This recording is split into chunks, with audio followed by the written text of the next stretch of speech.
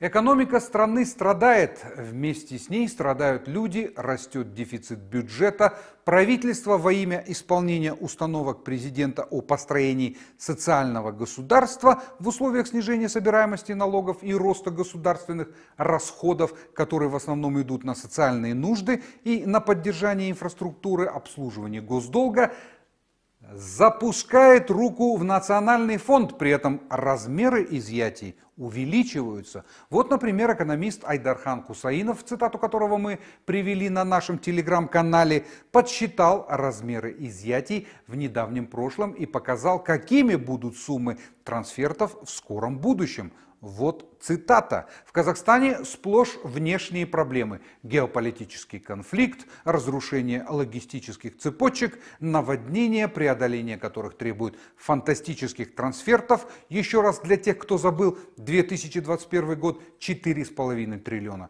2022 год 4,6 триллиона, 2023 5,3 триллиона, 2024 6,5 триллионов тенге с учетом внешнего привлечения на полтора миллиарда долларов, 2025 год 8 триллионов.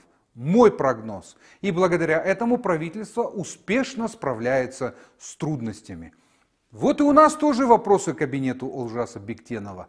А на что вы бы были способны в условиях, если бы у нас не было нацфонда. Может, вы найдете в себе смелость выйти к обществу с объяснениями. Вы же тащите деньги, которые вроде как принадлежат всем гражданам страны. Плюс Курс доллара на днях устроил бешеную пляску, добавив волнение к и так тревожным настроениям в обществе. Мы прекрасно понимаем, что если поумерить аппетиты, то это первым делом ощутят на себе социально уязвимые слои населения, а не чиновничество. Качество жизни упадет заметно для простых людей, а не для чиновников. Но так как вы видите вообще порядок и дисциплину среди своих подчиненных – начните пересматривать налоговый режим для предприятий нефтегазового и горнорудного секторов в сторону повышения, отменить существующие льготы, вы способны на это и так далее. В минувшую неделю Казахстан столкнулся с резким ослаблением своей валюты. За доллар давали почти 496 тенге. Многих жителей это обескуражило, и некоторые уже были готовы скупать зеленого американца в банках и в обменниках. Кстати, кто-то именно так и поступал. С чем был связан такой скачок стоимости американской валюты? Можем ли мы а, ожидать подобного в ближайшее время? За разъяснениями и прогнозом ситуации мы обратились к казахстанскому финансовому аналитику Арману Бисимбаеву. До этого было большое давление на курс, как сам Нацбанк объясняет, э, давление было в том числе со стороны банка второго уровня. Опять же, банки второго уровня спрос на доллар создают не просто так, а по имеющимся там условно заявкам. То есть чем больше спрос со стороны населения, бизнеса, которые приходят в эти банки и закупают доллары, соответственно, запасы долларов должны пополняться в банках. Банк, соответственно, проводит вот эти конверсионные операции на бирже. Он, соответственно, выходит на биржу с заявками на покупку долларов. Отсюда и спрос. То есть возникает у тебя вот эта вот цепочка спроса, которую э, э, на другом конце которого стоит Нацбанк, который должен удовлетворять этот вот спрос.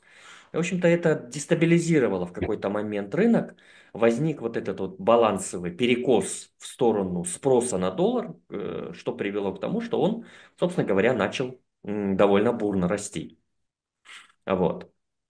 А и вот как раз э, на прошлой неделе, когда доллар подошел к отметке э, 496, он, по-моему, почти, э, почти, почти дали 496, Нацбанк начал предпринимать меры, он, собственно говоря, отменил покупки э, валюты для пополнения активов ЕНПФ, то есть для, для пополнения пенсионных активов в портфеле. Э, э, он, он это дело резко остановил, э, собственно говоря, с другой стороны, он как бы вышел с некими заявлениями, где начал успокаивать рынок, это, в общем-то, на биржевом языке называется словесными интервенциями. Когда стало понятно, что тенге начинает разгоняться, а, вернее, доллар начинает разгоняться, и там еще день, два, три, и мы, скорее всего, получим 500, а то и больше, а, это могло бы дестабилизировать рынок, вызвать какие-то панические покупки долларов, когда население вдруг резко обратило бы на это внимание, начались бы набеги на банков, да, там, набеги на обменники, когда население начало бы панические скупки долларов и так далее. То есть это как бы такая спираль возникала. Вот. И для того, чтобы это дело успокоить, э, что сделал банк? банк э, Нацбанк в первую очередь вышел на рынок и начал э, проводить так называемые словесные интервенции. Они подействовали. Вместе с ним он сделал первый э, серьезный шаг. Он приостановил покупку долларов для пополнения валютных активов ЕНПФ. Вот. Это, этого оказалось достаточно для того, чтобы начались такие же ажиотажные продажи долларов, которые, в общем-то, привели в конечном итоге к резкому вот этому укреплению, когда практически все ослабление тенге до этого, оно было отыграно, отыграно назад. Сейчас мы видим, что, что произошло. Сейчас произошло некий, произошел некий возврат к среднему значению, скажем так. Он находится на уровнях там плюс-минус 480-485. Вот сейчас мы видим курс примерно на вот этих вот отметках. То есть мы увидели скачок и последующий откат. Это все, что на самом деле произошло, по большому счету. Доллар растет так или иначе, он будет расти. Это неизбежная вещь. Тенге обесценивался, обесценивается и будет обесцениваться. Вопрос только в том, каким темпом это будет происходить. Могут ли казахстанцы рассчитывать на снижение цен на самые необходимые товары потребления? Что творится с инфляцией в Казахстане?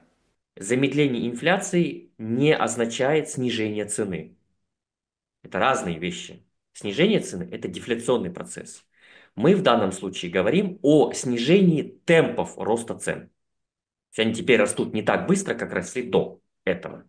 Особенно вот, это было очевидно вот, в 2022 году, и большую часть 2023 года, да, продуктовая инфляция была очень высокая. Особенно в 2022 году на фоне того шока, который испытала наша экономика, а, был достаточно серьезный скачок, особенно по потребительским а, и именно в потребительском сегменте. Где-то где полгода этот шок длился, со временем, со временем там и Россия начала открываться, потихонечку они встали на рельсы, ну и, собственно говоря, более или менее все исправилось, и мы видим, что от пика многие цены а, нормализовались. То есть они не остались на том уровне, на котором они были там условно в середине 2022 года, на фоне вот этого пикового шокового спроса многие цены э, вернулись обратно. То есть сколько сахар стоил, например, там, условно, летом 22 года и сколько он сейчас стоит. Он отыграл большую часть вот этого шокового роста цен.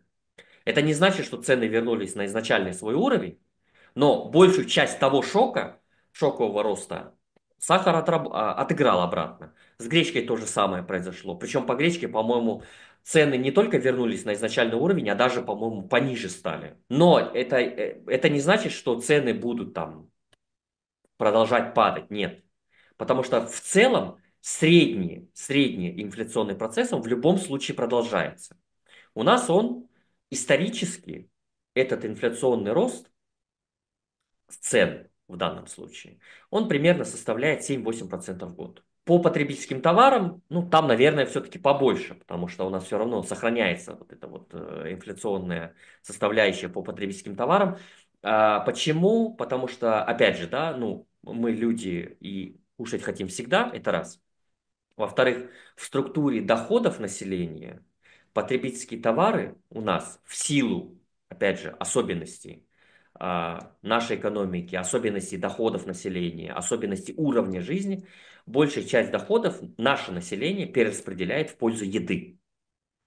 И поэтому там всегда сохраняется устойчивый инфляционный процесс, он никуда не уходит, потому что люди, может быть, там себе одежду ну, не купят, например, но еду будут покупать всегда. На минуточку, 19 год, это было примерно соотношение а, где-то 40 на 35, насколько я, если не ошибаюсь. То есть примерно 40% населения, где-то там 35-40% своих доходов тратили только на еду.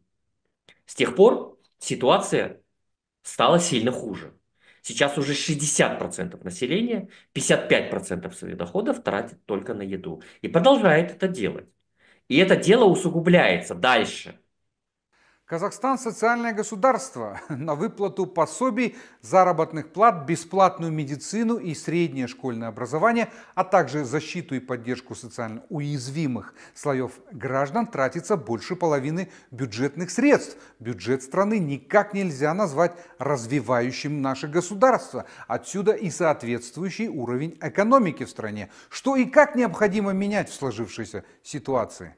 Деньги пошли в образование. Впервые за очень долгую историю Казахстана а, расходы на образование, по-моему, вышли в первую тройку.